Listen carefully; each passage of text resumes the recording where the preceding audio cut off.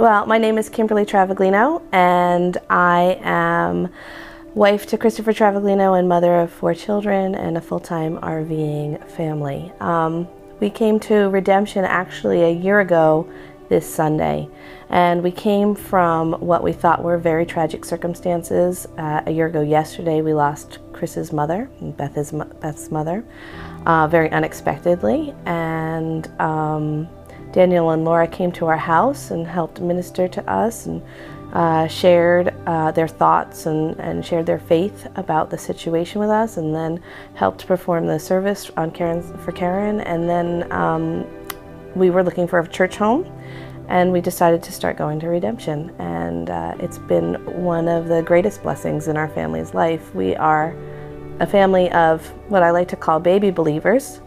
Um, we've been, I've been saved for 14 months right now.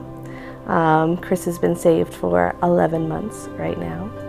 Um, and uh, the last year has just been an awe-inspiring journey um, for our family and uh, for walking with God in faith for um, what we do. And just to give you a little example of what we do, as full-time RVers, we have the opportunity to go anywhere and do anything, which is a mixed blessing uh, and sometimes a double-edged sword. Sometimes there's just too many choices uh, to to choose from, and it's it could be overwhelming.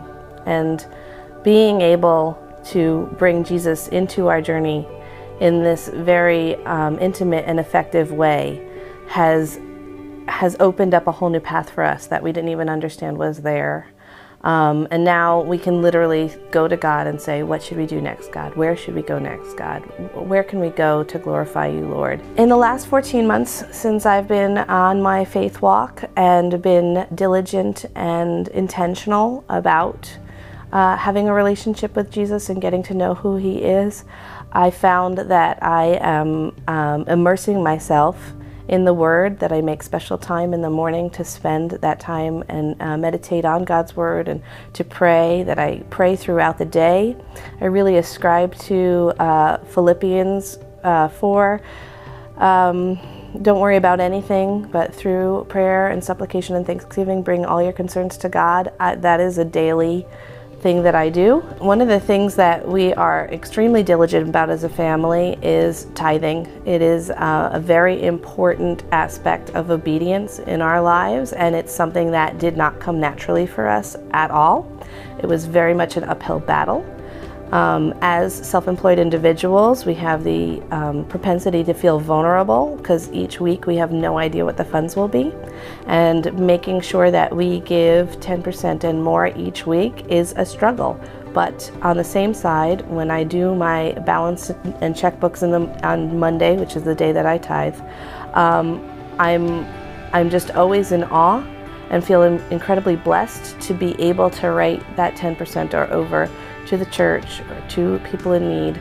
Um, and I feel so thankful on Monday mornings that I have the opportunity to do that. Um, a lot of people feel vulnerable if they don't have a lot of money, and, and we have felt that way in the past too. Um, but knowing that there's an ebb and flow to money and that God's actually in control of what comes into our account has given us enormous amounts of peace. Your money that you do have is not yours to begin with. Your money that you have is through God's grace. And you might feel like, well, I worked really hard for my money and I deserve my money. And, and that's a flesh response to money because we do have a very strong flesh response to money. But the reality is, all of the gifts that we're given are from God. And so God gives you these gifts and then asks you for your obedience in giving them back. And um, you might see that you are giving back in your time if you're um, volunteering, and you might see that you're giving back in other aspects. But if you're not giving back in this aspect, you're not only being disobedient, but you're robbing yourself from one of the greatest gifts of faith.